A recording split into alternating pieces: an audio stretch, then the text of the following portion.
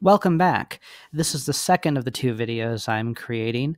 Uh, the first one was about the course, at least giving a minor introduction to the course, and this video will be a little bit about myself. Uh, so I don't want you to feel like you are learning history from a perfect stranger. I want to give you a little bit of information about me and tell you about where I've come from and how I approach history and and well, just a little bit so you feel like you at least kind of know me. I always introduce myself to my students in my uh, in person courses, so why should you guys be any different? So, a little bit about myself. Oh, and before I tell you, I just want to point out to you, although you've probably already seen it, uh, I have a discussion board set up uh, on Canvas right now. It's not graded, and it's for you to tell me a little bit about yourself, uh, whether you are, uh, what your major is, what your goals are, what your dreams are, where you're from uh, what year you are in school, how long you've been in school. If you're a traditional student, uh, somebody who is of, of the traditional college age, or if you're somebody who is returning to college, somebody who maybe served in the military or is starting a new career or is simply taking classes for their own personal interest. So I hope that I can get to know who you are and uh, your classmates can get to know who you are and also that you can get to know who I am by watching this video. I think it's important to have at least some minor resemblance of a community here. I know that the class is online, and a lot of us take online classes so we can kind of get around that need to always be in class with people and we can kind of work at our own pace and teach at our own pace. Uh, but I think that having a certain degree of community is still important because we are going to be, in many ways, working together. I will be working with you and you will be working with me. And so it's good to uh, know a little bit about each other. So let me tell you, without further ado, a little bit about myself. So I was born in Cleveland, Ohio. Well, let me rephrase that. I was born on the west side of Cleveland, Ohio, in a small uh, manufacturing city named Elyria. Uh, but most of the people, at least of my age group, consider ourselves to be mm, Clevelanders to people who don't know where Elyria is or what Elyria is. So, for all intents and purposes, let's just say I am from Cleveland, Ohio. Uh, I'm 32 years old, and it's a great city to come from because it certainly has fair shares of downs and maybe not as many ups as we would like. Uh, we've been shoved to the ground a number, number of occasions. It's sort of like a tradition. Uh, shoved around by others, shoved around by luck, shoved around by fate, and occasionally we shoot ourselves in the foot as well. Uh, but it's the kind of place that when you get used to it, you come up on top. You just learn to soldier on, learn to get back up, learn to keep, learn to uh, keep walking forward. Uh, as I believe LeBron James had said when the uh, Cavaliers won the championship back in 16, nothing is nothing is given given here. Everything is worked for. And uh, I bring that approach to all the work that I do, whether it's work in history or work uh, in the theater or work in anything else I've done. And I hope that you will bring that approach as well. My philosophy on history, at least as far as this course goes, is that while I don't guarantee you an A, I don't guarantee you any grades. The grades that you earn are the grades that you earn. However, if you put forth the effort, if you work hard, if you try, you will improve. And if you work hard enough, you will pass. Uh, we will work together on this. So let's bring this kind of blue collar, um, blue collar stoicism that I was raised with here in this city uh, to this work that we do here. And let's just keep striving forward. Let's try to learn. Let's try to improve ourselves and walk out with something that can be useful to us in the future. So I am from the west side of Cleveland, Ohio. As an undergraduate, I went to a small liberal arts college on, in Northeast Ohio on the east side of Cleveland, about 45 minutes outside the city and about 45 minutes away from another city uh, called Akron. And Akron actually is where LeBron James is from. Uh, this is Hiram College, a beautiful college, very small, very rural, as you can see. Uh, gorgeous place to be. It's in the snow belt, so we get snow as early as October out there, uh, which just foreshadows all the snow we get for the rest of the year. Uh, and uh, our most famous, uh, our most famous uh, student at uh, Hiram, the most famous alumni, is James A. Garfield, who one day became president of the United States, and he also was a Union general as well. a little bit of trivia about James A. Garfield. James A. Garfield, uh, if you know who he is, if not, look him up. He is a very interesting man. Unfortunately, he was assassinated, but he would have been perhaps one of the best presidents we ever had had he lived. he was an abolitionist. He believed in equality of everybody, regardless of race. He was educated in Greek, Latin, and mathematics, as well as philosophy. He is the only president to ever uh, be elected. Uh, he's the only president who has ever been an ordained minister. He was a minister in the Disciples of Christ uh, denomination of Christianity. He was our first left handed president. And according to popular myth, uh, mostly given to us by his wife. He was able to write Greek with his left hand while he wrote Latin with his right at the same time. I don't know how true that is, but I just find that a very interesting story. I am left handed as well, so I, I kind of like that little bit of quirky history.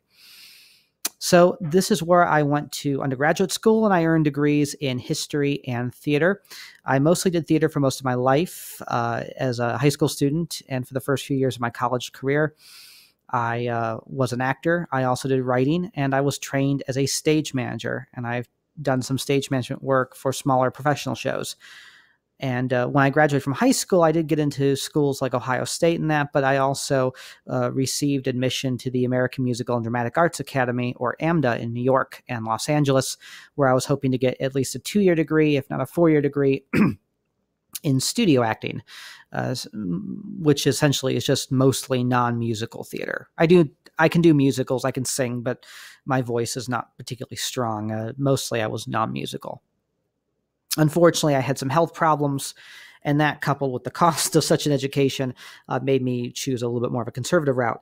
Uh, so I started doing writing and I started doing stage management as well. And then I moved more and more towards history, which always had been a love for me anyway, and literature as well. But nevertheless, I did get a double major in history and theater. I shifted gears after I graduated from Hiram and left the North entirely and went to the South. I received a master's degree from Clemson University, the great school of South Carolina, Clemson University uh, in the upstate. I was there between 2010 and 2012, uh, where I had the privilege, uh, comically, of having lunch with Dabo Swinney, the coach of the Clemson football team, purely by accident, though. Uh, I was just sitting at a table one day and there must have been some kind of athlete recruiting thing going on because all the athletes, uh, male athletes and female athletes from all the different sports, were walking around wearing suits and ties. And uh, I was just sitting there having lunch, and I heard this loud, booming voice uh, just right in front of me. And I looked up, and Dabo Swinney is looking right at me, wearing his hat, wearing his coat and uh, he was just he just asked me why I wanted to come to this school and play football for this program, and I absolutely had no idea what to say to him. But he was so direct and so forceful with his question that I just had to lie and tell him that it was the best place. I thought it was the best school for the for my education and uh, and for football, and he he bought it. So uh, it was a very odd, awkward, but comically interesting uh, scenario. So I went there, got a degree in history, a master's degree, and I moved on back to Ohio where I worked in the theater for about a year. And I decided I wanted to get a PhD. So I applied to a number of schools.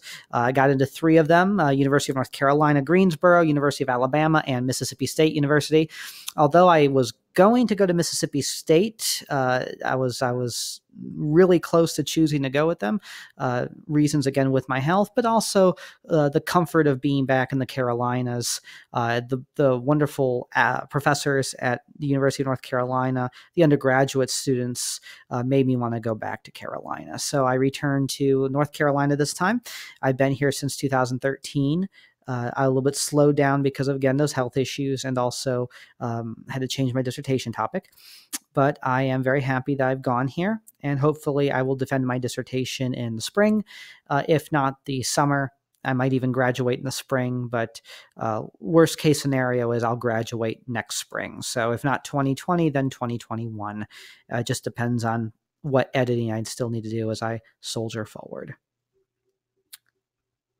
My work primarily revolved around social reform. It's kind of a broad topic, but all that means is that I studied things like abolition, women's uh, suffrage movement, uh, certain labor uh, reforms, uh, the union movement, things like that. It's kind of a broad catch all term, but mainly what I studied. excuse me, mainly what I studied is abolition and more specifically radical abolition, radical religious abolition. People like John Brown, who's the gentleman you see here in the front. This is a mural of him. He fought uh, uh, slaveholders in Kansas and uh, most famously or infamously uh, led a or tried to lead a revolt in West well, what is today West Virginia, what would have been time Western Virginia, at a place called Harper's Ferry in 1859, which is considered in many ways kind of the unofficial beginning of the Civil War. Uh, he was later hanged for that. I studied uh, uh, I studied groups like Oberlin, and Oberlin College, sort of a utopian community near where I grew up that was the first school in the country to educate whites and blacks equally in the same school and offer uh, black people baccalaureates, also women baccalaureates. So white men, white women, and black men and black women could go to Oberlin and receive the exact same education, and they were treated the exact same way. Uh, at least as far as the 19th century would allow. Western Reserve College uh, and other communities in Massachusetts, Connecticut, upstate New York, and Northeast Ohio. So, really, that's what I primarily looked at when I was at Hiram and when I was at Clemson. Uh, I shifted gears, though, for a number of reasons. And now I study, right now at least, what I'm doing my dissertation on, is divine healing or faith healing after the Civil War from these kind of smaller splinter groups, some of which, some of whom were abolitionists who kind of took their uh, zeal to the next level. Uh, more specifically, I'm not really looking at it as far as the theology goes, but as as a form of alternative medicine. So you could say that I do social reform history, uh, abolition, I do temperance, I do uh, some elements of class conflict and labor, uh, though not as much as others, but I also do alternative medical history, medical and alternative medical history uh, as well. So I, I, have kind of a broad approach. If you wanted to ask me just simply what I did, I would say social reform history, mainly abolition and alternative medicine. So long story short, that's what I do abolition and alternative medicine. I do the other things as well, but those two in particular are what I do uh, the most. I also do uh, uh, some kind of minor stuff on the side for personal interest. I study jazz, I study cinema, I study theater, and I study uh, amusement parks and leisure as well. All of these um, seem somewhat uh, seem very different from each other, but there are connections, believe it or not, if you if you look, especially in the era when this stuff came out of. So that's who I am. That's who I am. I, that's a lot of information, perhaps more than you wanted to know, but at least you know it and and uh, you know who I am and you know where I come from. I look forward to getting to know who you are uh, in our in the discussion post uh, that I told you about, the one where you introduce yourselves, and I'm looking forward to getting to know you uh, over the course of the semester. So, without further ado, please go to the syllabus if you haven't so, done so already. Read the syllabus, uh, read it over carefully. Make sure all your notifications are turned on. Take the syllabus uh, exam, the agreement form that is, and then move to the first week and the first lecture. And I hope that uh, you enjoy this class and have a good experience with it. So, with that, I will leave you to your class, and I look forward to seeing you in the coming weeks as you listen to these lectures and we learn about this very um, dynamic period of history. Have a good evening.